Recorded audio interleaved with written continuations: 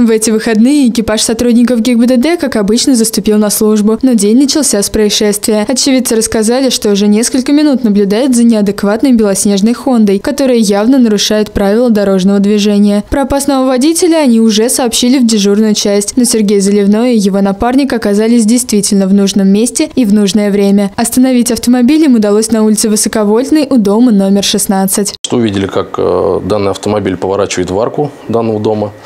Ну, значит, при повороте водитель немного замешкался, остановился. Значит, мы в этот момент подъехали. Подъехали. Я сразу же вышел из служебной машины, подошел к водителю со стороны водительской двери. То есть водитель, увидев, что я к нему приближаюсь, э, заблокировал э, двери, заблокировал двери.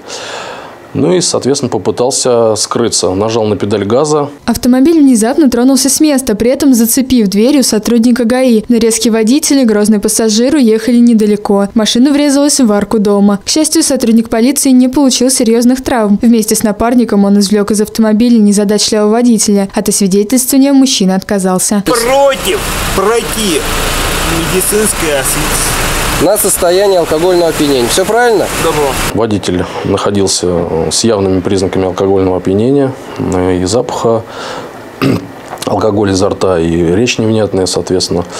Вот. Также под сиденьем автомобиля имелась э, бутылка водки Выяснилось, что гражданин уже шесть раз привлекался к ответственности за езду в нетрезвом виде. Теперь ему грозит наказание по статье 264.1 Уголовного кодекса Российской Федерации. Это штраф от 200 до 300 тысяч рублей, либо лишение свободы на срок до двух лет. А также административная ответственность по статье 19.3 неповиновение законному требованию сотрудников полиции. Всего за прошедшие выходные было выявлено 24 подобных нарушения. При этом пять водителей нарушили закон неоднократно.